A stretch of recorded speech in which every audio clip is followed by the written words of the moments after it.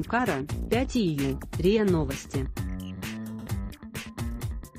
Сирийский комитет по переговорам, СКП, представил спецпосланнику ООН по Сирии Стафану Демистури согласованный с Турцией список из 50 кандидатов в Конституционную комиссию, говорится в заявлении пресс-секретаря МИД Турции Хами Аксоя. 5 июля Сирийский комитет по переговорам, СКП, представил спецпосланнику ООН по Сирии подготовленный по согласованию с Турцией список из 50 кандидатов от оппозицию в Конституционную комиссию.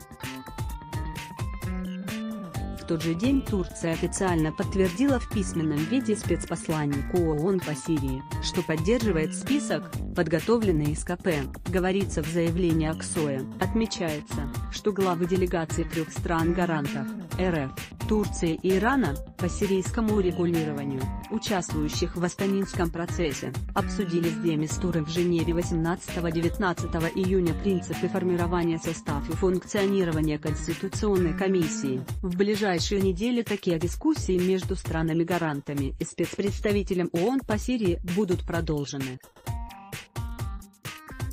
Вооруженный конфликт продолжается в Сирии с марта 2011 года. Урегулирование обсуждается на площадках Астаны и Женевы, а прошедший 30 января в Сочи Конгресс сирийского нацдиалога стал первой с начала конфликта попыткой собрать на одной переговорной площадке широкий состав участников. Главным результатом Конгресса стало решение о создании Конституционной комиссии, которая будет работать в Женеве. Развитие ситуации, в спецпроекте РИА Новости «Война в Сирии. Решетка Сирийская комиссия по переговорам», СКП «Решетка Сирия».